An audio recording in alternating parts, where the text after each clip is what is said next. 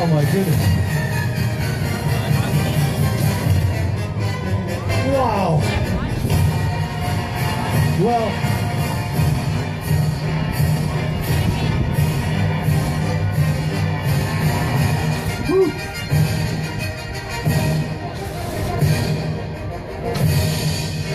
Well, the one thing I didn't tell you about the story is that the pirates ultimately couldn't beat the Constitution.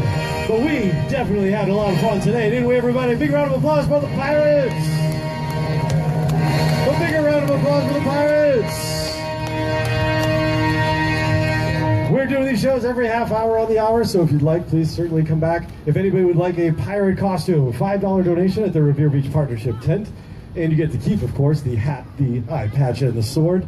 Again, folks, we're having festivities all we're down here at weekend, culminating, the of course, in a fireworks extravaganza tomorrow night. But the main thing is, is that we couldn't put these on these events on without you. So if 2 you give a little bit, we have our donation boxes here on the side. The small donation goes a long way. and We really appreciate you coming down. Everybody will be back here again in a half hour. Make sure you buy your doing their costume. sand castles. So it's actually a very cool event. They do it here every year. What I've learned is that each artist gets 12 ton of sand. It's a special sand that has a lot of clay mixed in with it to do this. And they get an 18 by 18 foot square area. The sandcastle that you're looking is the centerpiece. And that is the Constitution, old Ironsides, with all the advertisements and so forth around it.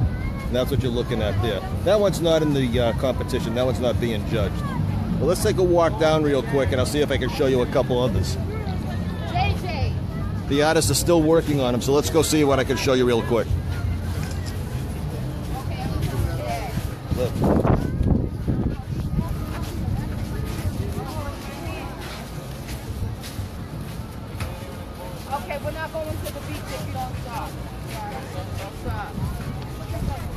Can see there's an artist up there, and they're from all over the world doing the, the sand sculptures and so forth.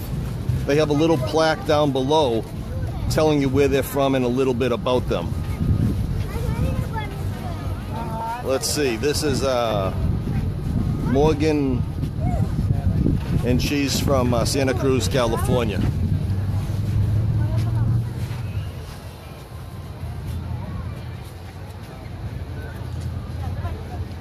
It's a little hard to read the comments because the sun's coming right over my back right now. But uh, hey, Jim, how you doing? I saw your comment. There's not really any additives, but the sand is not from this beach. It's brought in from another area that has a lot of clay mixed in with it, and they do that every year. So when they're done and it dries and the and the water's dried out of it, you can see how they have the different. Uh, levels that they start at the top and then as they work their way down they start to remove some of those enclosures. But uh, yeah there's no additives but i hear it's very strong strong enough that i'm told that it will stand up to actually a rainstorm. Depending on the complexity complexity of them you can see there's a lot of very intricate detail at the top holes going through. It's just amazing work what they can do with the uh, sand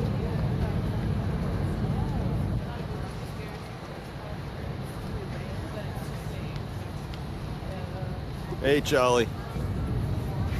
Yeah, it's a lot of fun. They do it every year right around this time. People to me live. Let's go take a look at another one real quick.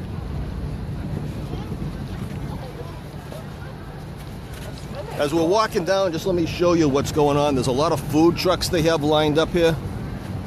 You know, from all over the place. They got Boston trolley dogs over there and frozen hoagies and it goes all the way down the street and then down towards the end, if you can see it, I'm not so sure. They got Ferris wheel and some games for the kids. There's a band set up, and the band, uh, you know, obviously plays, and that's where the award ceremony will be. Looks like some of the artists are taking some breaks right now. Oh no, there he is. Coming over the fence to say hi to a friend. This is Dan. He's uh, he's from St. Louis, Missouri. Just saying it to hi a few friends that he met.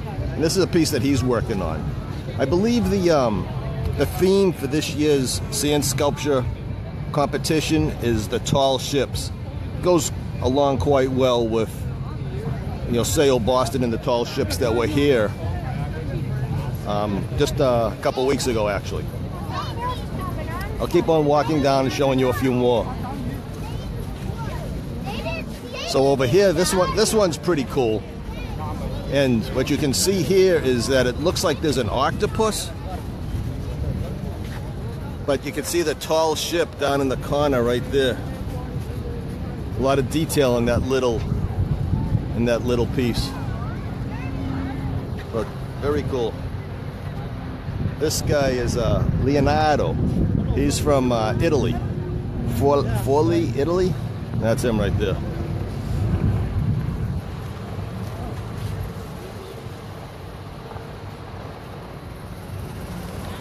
I was saying earlier that they have um, little signs telling you about each artist. So there's a little bit about Leonardo. I believe there's uh, 14 or 15 sculptures here this year. And um, if you go to the Revere Beach website or just Google sand sculptures Revere Beach, you'll get all kinds of information that pops up. And actually, the cable station down here, Revere Beach Cable, um, does a quite a nice job. And there's a lot of uh, GoPro cameras and different types of cameras that are recording some of this in slow motion. So what they'll do is they'll speed it up and give you a hyperlapse of some of these sculptures going up. A lot of detail on this one, on this side. Excuse me.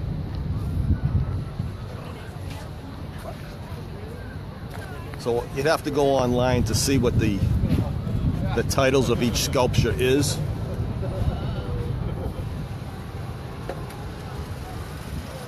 But this one's starting off maybe some type of soccer, I'm not really sure. You could see a, a camera down there. She's doing a, probably a time lapse of herself uh, doing that sculpture or some of the TV station going. And, and on the other side, it's kind of a different theme. It's actually quite nice. It's a little bit more done than, than this side. Let me see if I can get over there.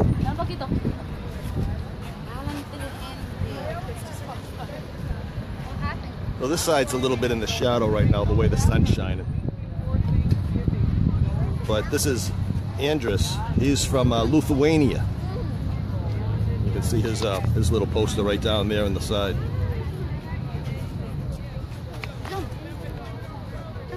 The areas are barricaded off on, on both sides to give the artists a lot of space. You would need some type of credentials to get in from a uh, TV or news station, I imagine, to get a little bit closer for, for a possible interview. But they have about 24 hours left in their sculpting.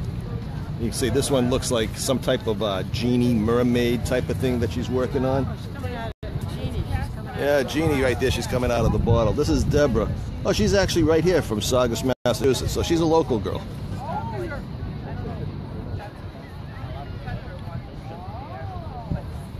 This,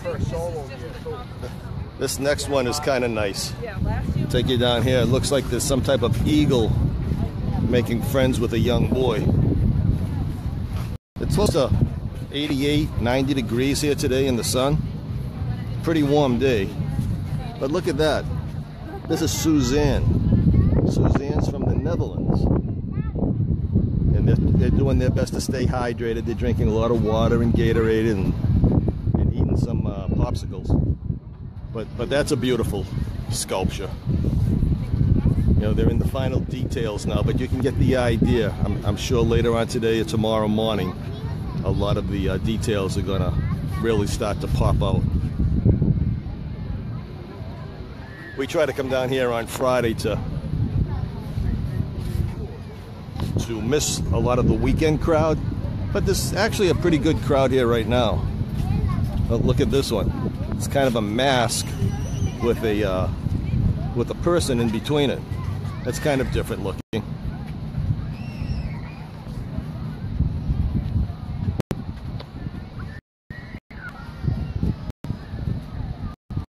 Jim, my friend Jim is asking, what do they get if they uh, win the competition? Again, all the details are on the website. but I believe uh, from reading it quickly this morning that first place winner there's a $5,000 prize for some of the people that have traveled internationally that probably paid for their their flight. I'm not sure if they have sponsors or if they have to come here on their own. But but this person is how do you say that name? Dimitri, and he's from uh, St. Petersburg, Russia. So you can see him if you look close. I'm not sure if you can make it out on the computer screen. That's him in the orange shirt if you look through the eye on the right side of your screen. He's working on the back side of the sculpture right now. A lot of details.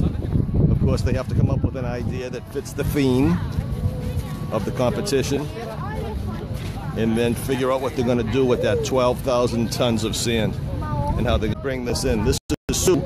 She's actually from Tacoma, Washington, and you can see it. This almost looks symmetrical.